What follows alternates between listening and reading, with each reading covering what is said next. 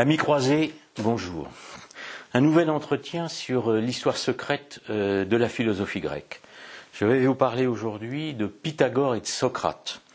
Et sous un aspect négatif, euh, pour montrer qu'ils ont été tous les deux contre la religion grecque. donc ils ont détruit, ils ont participé à la destruction de la civilisation grecque parce que quand on détruit la religion d'une civilisation, elle n'a plus de fondement et elle s'écroule. Euh, Will Durant avait écrit dans son Histoire de la civilisation qu'une civilisation commençait par une religion et mourrait à cause d'une philosophie. C'est évidemment ce qui va arriver à la Grèce et ce qui nous arrive à nous. Donc évidemment, ces entretiens sont toujours euh, d'actualité. Euh, ils s'attaquent à la religion grecque et ils sont tous les deux condamnés euh, à juste titre. Parce que, euh, en fait, euh, ils, sont des ennemis de la Grèce. La Grèce a, connu sa grandeur à grâce au Panthéon d'Homère, dont je vous ai parlé dans la conférence précédente. Alors, c'est une religion qui est païenne, mais c'est la grande religion occidentale d'avant le christianisme. Et de même, quand le christianisme deviendra euh, la nouvelle religion de l'Occident, qui euh, mènera l'Occident sur le, chemin du salut pour faire l'Occident chrétien, euh, la philosophie moderne, évidemment, après, à cause de la Renaissance, reviendra attaquer la religion qui sert de fondement à une civilisation, à notre civilisation. J'insiste là-dessus parce que les païens sont parfois anti-chrétiens ils ont oublié que sans le christianisme, il n'y aurait plus de culture païenne. Euh, tout aurait été balayé euh, dans les temps féodaux que l'histoire officielle appelle le Moyen Âge. Hein, vous savez très bien qu'il n'existe pas, mais tout aurait été balayé par des invasions islamiques. Pas? S'il n'y avait pas eu les croisades, euh, l'Europe aurait été soumise il y a pas mal de siècles.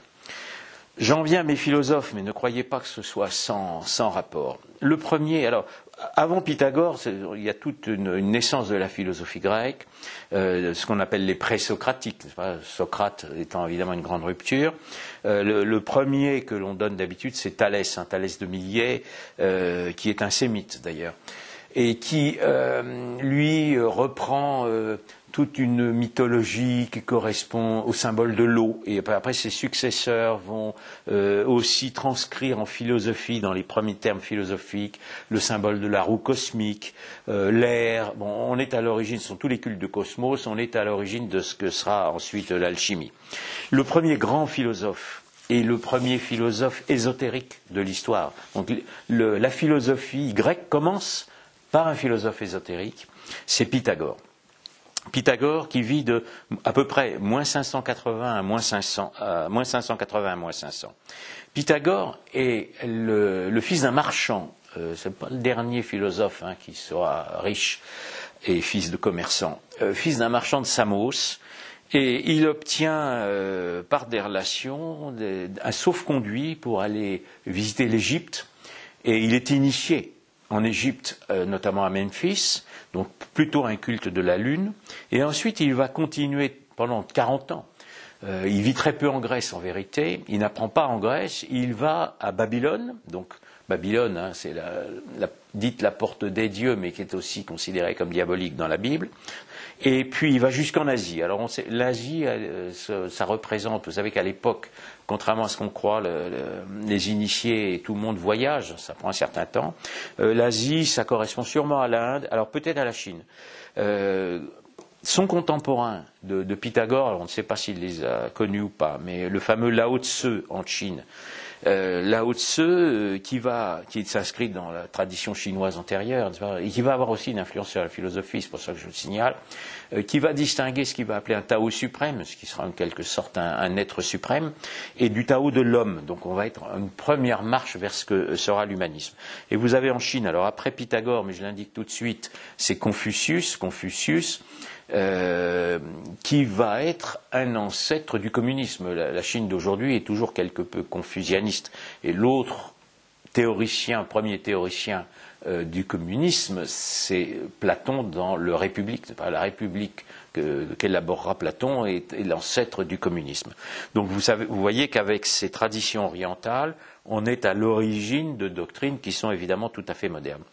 Euh, Pythagore n'est pas un, véritablement, il n'a pas une culture grecque, c'est un initié oriental. Et il va rejeter la, religion grecque, ce qui va faire scandale. Donc quand il va rentrer de, ses 40 ans d'initiation, parce qu'on ne peut pas dire autrement, il a été initié euh, à tous les ésotérismes là où il est passé, il va faire scandale et il va être obligé de vivre en exil, il s'installera à Crotone dans le sud de l'Italie, et il va fonder une secte, une secte qui va traverser les siècles. Euh, on va la retrouver dans les mouvements gnostiques, elle va protéger à chaque fois des hérétiques, on va la retrouver évidemment à la Renaissance, il y aura des pythagoriciens, et on va la retrouver on va retrouver des éléments de Pythagore, notamment ce que l'on appelle les vers dorés de Pythagore, c'est-à-dire c'est en fait la balance entre le oui et le non, et on va retrouver cela dans Descartes, et évidemment aussi dans l'ésotérisme maçonnique qui va reprendre de Pythagore ce doute parce que finalement, si c'est peut-être oui, peut-être non, euh, un chrétien, c'est pas oui ou non, c'est on dit oui ou non, c'est pas oui et non. Donc il y a dans Pythagore l'origine d'une forme de scepticisme déjà et du doute, du doute philosophique. Euh, il est célèbre aussi parce que il, reprend, alors à la fois de Babylone, de Babylone et probablement de Chine, euh, ce que j'appelle l'ésotérisme du chiffre. Sa philosophie va substituer à la religion les mathématiques. Euh, mathématiques, évidemment, avec des aspects ésotériques.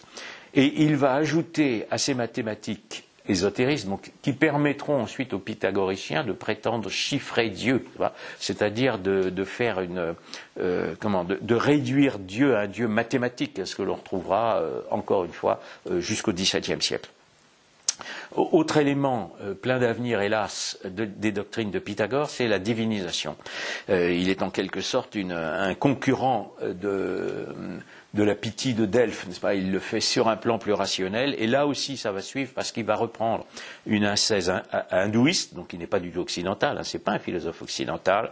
Alors une doctrine qui peut être christianisée, qui est la doctrine du silence, c'est-à-dire évidemment la contemplation peut se faire dans le silence, mais dans le cadre de, pour Pythagore, euh, elle est accompagnée euh, de la croyance en la métampsychose, c'est-à-dire on va se réinscrire dans le cycle des vies, n'est-ce pas, des vies antérieures. Il va reprendre aussi de l'Inde euh, le, végétarisme, qui est aussi évidemment à la mode et qui, je le rappelle aussi de temps en temps, euh, a été aussi une des, comment on peut dire, une des, pas une croyance, mais enfin une des pratiques d'un dénommé Hitler. Bon, donc tous les végétariens ne sont pas des, bons humanistes. Et on, a dans Pythagore, euh, dans la secte pythagoricienne, les premiers éléments, notamment par la métampsychose, de, de l'idéalisme philosophique, donc qui va être formulé par Platon, qui reprendra cette théorie de la métampsychose, et jusqu'à Descartes, hein, puisque Descartes sera le pire euh, philosophe idéaliste moderne. Euh, on a également dans Pythagore euh, l'origine de ce que l'on va appeler la science totale, une science du grand tout, qui sera un des fondements de l'hermétisme. Donc Pythagore est évidemment devenu l'idole des initiés. C'est un, modèle qui est toujours vénéré. Euh, les pythagoriciens aujourd'hui sont encore dans beaucoup de sociétés secrètes et évidemment dans la grande secte. Euh, autre aspect de Pythagore que je vais donc rattacher à la conférence que j'ai faite antérieurement sur les mystères d'Éleusis, c'est que Pythagore est orphique. Il est officiellement orphique. Les pythagoriciens sont des orphiques. Donc ils vont faire passer l'orphisme en philosophie. C'est une traduction des croyances d'orphisme, donc des mystères d'Éleusis, en philosophie, aspect rationnel, mais derrière l'aspect rationnel et mathématique et scientifique des croyances ésotériques. Et l'orphisme va triompher en Grèce à cause de Pythagore et à cause d'un personnage extrêmement nuisible qui est Périclès. Euh, le siècle de Périclès qu'on vous vante, parce que le siècle de Périclès qui est présenté comme un grand siècle, euh, le grand siècle grec, non, c'est le siècle de la victoire de l'orphisme, c'est-à-dire de la défaite de la religion du panthéon grec, donc de la défaite de la Grèce, qui va d'ailleurs ne survivra pas au siècle de Périclès. Alors, entre Pythagore et Périclès, euh, il va y avoir un certain nombre de philosophes dont je ne vais pas vous parler aujourd'hui, mais juste dire un mot. évidemment, dans mon histoire, euh, dans, l'intelligence du christianisme, dans l'histoire de la philosophie grecque, je, je l'explique, vous avez des luttes entre philosophes, notamment entre, par exemple, Parménide et Héraclite, qui en fait sont des luttes entre sectes. Donc il y a une histoire secrète, c'est-à-dire que Parménide, par exemple, fait partie d'une secte qui s'appelle les Éléates, qui sont plutôt aristocrates. Euh, Héraclite, lui, euh, représente le second euh, une secte qui, accompagne le second Delphes et qui est donc le Delphes devenu orphique. Hein, c'est Apollon vaincu par Éleusis. Et puis vous avez aussi dans les présocratiques Démocrite, Démocrite qui est aussi à la mode, hein, parce que c'est l'atomisme de Démocrite. Donc nous, arrivons au siècle de Périclès, donc qui est présenté, c'est le cinquième siècle hein, avant Jésus-Christ, qui est présenté comme un grand siècle. Pourquoi? Parce que Périclès renverse la monarchie et l'aristocratie euh, grecque, qui avait fait la grandeur de la Grèce, pour instaurer la démocratie. La démocratie, le siècle de Périclès, c'est le siècle de la démocratie. Donc évidemment, euh, c'est pour les imposteurs de l'histoire officielle le grand siècle grec, alors que c'est le siècle de la mort de la Grèce. Il commence, d'ailleurs ça commence très mal la démocratie en Grèce. D'abord, vous savez qu'il y a des, citoyens, mais il y a quand même des esclaves et des sous-citoyens. Mais en plus, c'est le règne de l'argent. C'est-à-dire que Périclès, c'est un despote, évidemment, c'est le despote démocratique on en connaît, au service de l'argent, on en connaît aussi un, et euh, il, a l'habileté pour garder le pouvoir, pour fausser les élections, parce qu'il y a du clientélisme, etc., de se servir de la culture. C'est sous Périclès que vont proliférer les pires ils sont tous pires, mais les pires des philosophes qui sont les sophistes, n'est-ce pas, les sophistes qui font des raisonnements euh, soi-disant intelligents, mais qui tournent sur du vide, dont deux euh, qui prédominent, qui sont Protagoras. Protagoras, c'est le premier qui dit vraiment l'homme est la mesure de toute chose. Donc on est à, l'origine, n'est-ce pas, de, l'humanisme, renaissance du péché originel évidemment. Et puis Gorgias, Gorgias qui euh, relativise tout. On est à l'origine du, relativisme, du, scepticisme. et il y a aussi des artistes, c'est comme aujourd'hui, qui sont des collabos de, Périclès, L'argent, euh, euh, alors il y a évidemment les grandes œuvres qui sont produites, mais le, théâtre de l'époque, la poésie, est très fortement imprégné de dionysiaque. Donc on est dans les mystères d'Éleusis, dans le dionysiaque qui a détruit la religion grecque et qui est vulgarisé auprès du peuple. Euh, le grand siècle de, de, Périclès va très mal se terminer parce que, alors Périclès, il avait aussi pris le pouvoir en écartant Simon. Simon qui était un aristocrate, donc il, écarte l'aristocratie. Simon avait vaincu les Perses. Hein. et il, est mis à l'écart après un procès truqué, c'est-à-dire voilà un faux procès, déjà un procès de Moscou, euh, pour éliminer un adversaire. La première démocratie a vraiment euh, servi de modèle à toutes celles qui ont suivi. Et euh, Périclès va lancer la Grèce dans la fameuse guerre du Péloponnèse, qui se terminera par une catastrophe, c'est-à-dire la défaite de la Grèce, la destruction de la Grèce. Or, le deuxième philosophe dont je vais vous parler, c'est Socrate. Socrate, qui est le témoin, hein, il, est contemporain de cette époque, il est témoin euh, de Périclès. Alors Socrate a un mérite, c'est qu'il dénonce les sophistes, c'est-à-dire qu'il dénonce, lui, il ne, veut, pas gagner d'argent avec la philosophie, il ne veut pas mentir, il est sans aucun doute sincère, et il rétablit euh, la grandeur de la philosophie. Donc je vais critiquer Socrate j'allais dire évidemment, évidemment, pas pour, pas pour l'histoire officielle, puisqu'on le présente comme un grand philosophe, alors que Socrate est une catastrophe. Et je vais, euh, j'ai posé la question dans mon livre, j'ai appelé Socrate, tout moins il y a un paragraphe qui porte ce titre, Socrate est-il le Bouddha grec? Alors, grande question, c'est d'abord la question de Bouddha. Euh, Bouddha, euh, l'histoire officielle, les historiens sur lesquels je me base, Eliade, le font vivre au VIe siècle avant Jésus-Christ, c'est-à-dire un siècle avant. Donc euh, tout le monde, puisque le, monde antique n'est pas fermé, tout le monde connaît euh, les doctrines. Alors je ne sais pas, personne ne sait si Bouddha a vécu ou pas à ce moment-là. Des historiens aujourd'hui le contestent et datent le, bouddhisme post-christique. Moi je reste dans l'histoire officielle. Je ne dis pas que, que je les crois, mais j'attends d'autres confirmations, même s'il y a des résurgences euh, bouddhique, euh, notamment dans ce que sera la, gnose manichéenne. Mais Bouddha est considéré comme ayant vécu. Donc, il peut le connaître. Ce que l'on trouve dans, le bouddhisme, d'abord le bouddhisme est une des pires religions de l'Antiquité. C'est une suite euh, du taoïsme et de l'hindouisme, et c'est une véritable religion du néant. Euh, en Chine, à la même époque, d'ailleurs, vous avez aussi des sociétés secrètes qui s'appellent du grand vide. Donc on, croit que tout sort du néant, sans être créateur. Évidemment, le néant produirait de l'être, euh, ce qu'on va retrouver dans l'évolutionnisme. Et euh, Bouddha euh, est à l'origine, le bouddhisme en tout cas, la conception bouddhiste, qui est un peu aussi une révolte contre le brahmanisme, est à l'origine du scepticisme philosophique. Il est antérieur au, véritable sceptique grec. Euh, je recommande d'ailleurs la lecture d'un ouvrage du père Jean-Dominique, qui est un, ouvrage remarquable, qui s'appelle Le soupir de Pilate, et qui est une histoire du scepticisme, et qu'il fait commencer avec le bouddhisme et non pas avec les philosophes grecs. Le bouddhisme est aussi une culture de mort. Et il a aussi ce grand défaut ou cette grande qualité euh, pour les imposteurs d'aujourd'hui, c'est d'être en partie à l'origine également de l'humanisme. Il y a une source bouddhique à l'humanisme parce que Bouddha est considéré comme un grand illuminé. C'est le premier grand illuminé. Et évidemment, l'illuminisme, ensuite, par le biais de l'hermétisme, atteindra jusqu'à l'humanisme. L'autre grand responsable de l'humanisme, évidemment, c'est Socrate. Le, premier concepteur en philosophie euh, de l'humanisme, c'est Socrate, parce que l'humanisme s'appuie sur l'individualisme. Euh, dans, les, traditions cosmiques, dans toutes les traditions d'ailleurs, euh, le destin est toujours collectif, il n'y a pas d'individu, et Socrate a le mérite de considérer un individu, mais évidemment, ce n'est pas l'individu au sens chrétien, n'est-ce pas, cette union d'une âme, âme et d'un corps, c'est un individu cosmique, c'est-à-dire c'est une individuation d'un grand tout.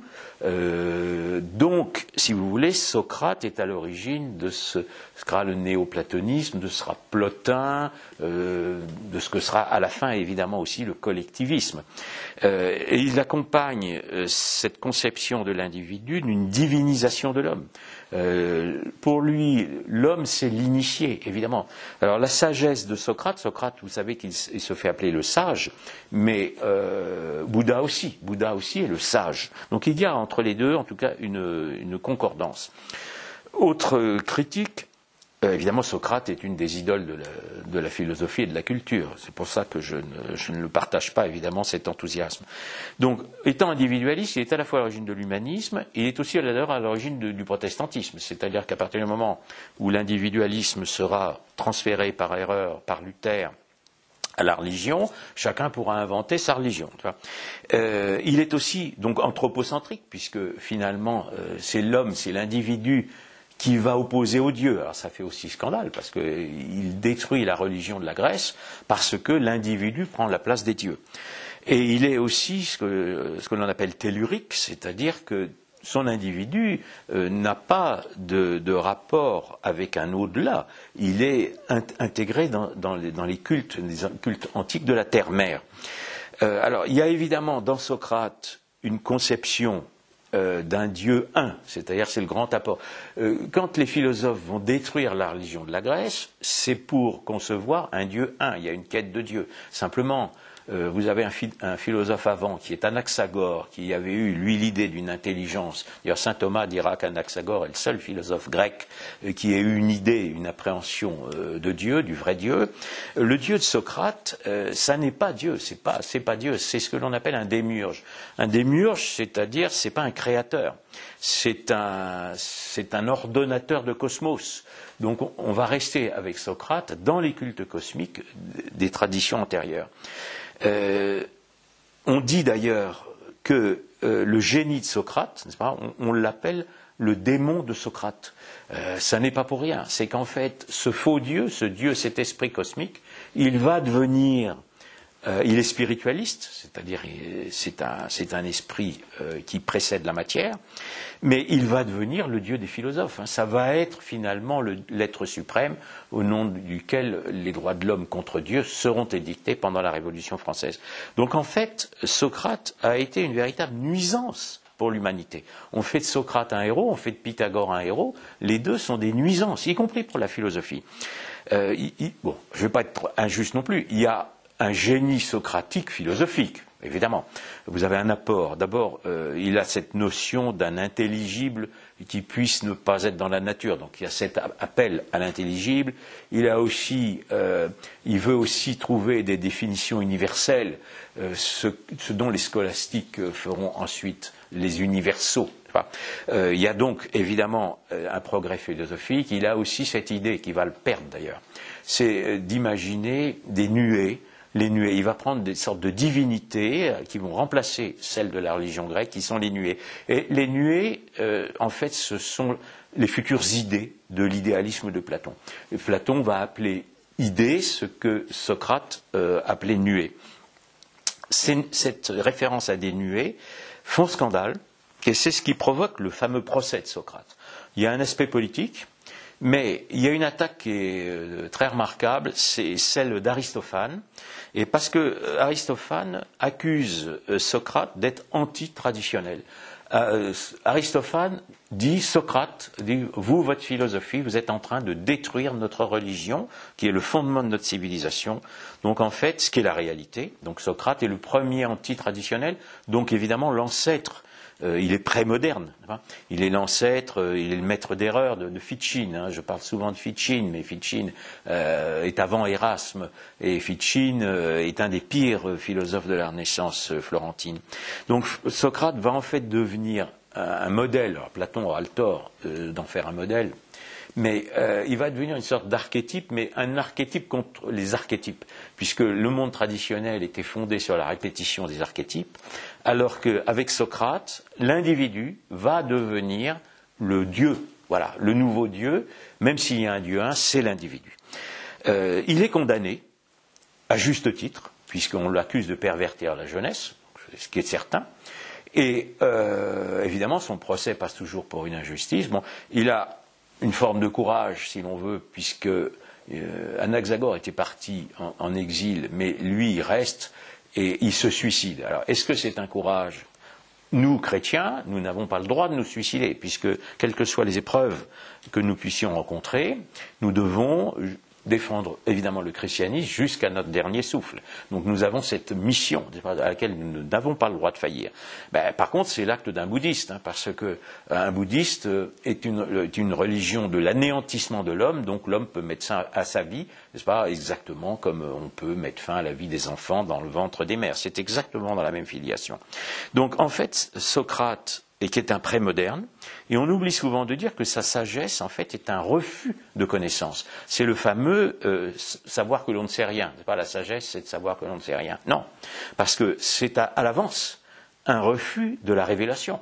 Parce que justement, l'homme n'est peut-être pas capable de tout savoir par lui-même, encore par sa raison, il va pouvoir euh, remonter jusqu'à Dieu, comprendre et prouver l'existence de Dieu, mais si savoir que l'on ne sait rien, est une limite que l'on donne, à ce moment-là, on va refuser la révélation de la vérité par le Christ. Quand le Christ va nous révéler toute la vérité, on pourra lui opposer Socrate, ce qu'évidemment les ennemis du christianisme ne manqueront pas de faire. Donc il est anti-chrétien par, euh, anticipation.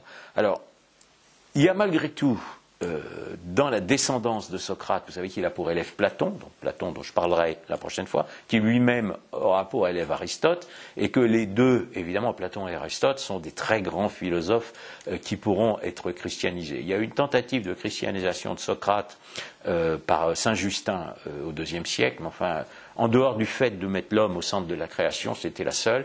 Et en fait, ce sont les ennemis du christianisme qui sont ensuite allés chercher Socrate contre le christianisme, notamment Ficine, Erasme et, la suite. Euh, donc, euh, Pythagore et Socrate, que l'on présente comme deux grands héros de la philosophie grecque et de la Grèce, en fait sont des destructeurs de la religion grecque, donc accompagnent la destruction de la Grèce par la démocratie euh, sous le siècle de Périclès et lèguent à l'avenir Pour Socrate, une fausse conception de Dieu. Pour Pythagore, un ésotérisme oriental qui sera utilisé par les philosophes contre l'Occident chrétien pendant des siècles. Alors, ils sont évidemment coupables, c'est normal qu'ils aient été condamnés. Euh, je rappellerai aussi que Erasme euh, est coupable, que Descartes euh, est coupable, et qu'eux aussi ont été condamnés par l'autorité compétente. N'est-ce pas quand on dit que Descartes est un philosophe chrétien, je dis ses œuvres ont été mises à l'index. il y a une différence entre les Grecs et Erasme ou Descartes, c'est qu'eux vivent avant la révélation.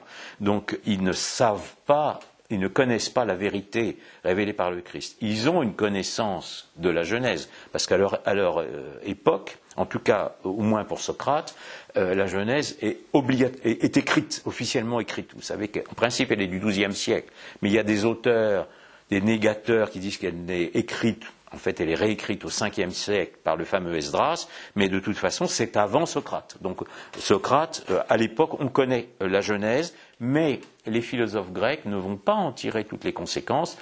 Peut-être aussi parce qu'il euh, n'y a pas de philosophie juive qui en ait tiré toutes les conséquences à l'époque, j'en reparlerai. Il y a donc une innocence des philosophes grecs, mais qui ont échoué et qui vont, à cause de la Renaissance, provoquer l'échec moderne. C'est pour ça que les temps modernes euh, qui sont philosophiques, puisque la, religion chrétienne qui servait de fondement à la civilisation de l'Occident chrétien a été remplacée par la philosophie profane euh, ou pseudo-sacrée des droits de l'homme, droits de l'homme contre Dieu, ce qui implique évidemment, puisque la philosophie moderne est un renouvellement du péché originel, un échec rationnel et le retour, n'oublions jamais, du sacrifice humain. Euh, ce pourquoi le XXe siècle a été un amoncellement de cadavres. Et malheureusement, l'aboutissement de la révolution, c'est le mondialisme. Donc, je répète toujours que nous sommes des, soldats pas, du christianisme pour nous opposer au mondialisme notamment, et puis évidemment pour mener cette croisade culturelle. Alors n'oubliez pas, nous sommes des croisés. Je vous remercie.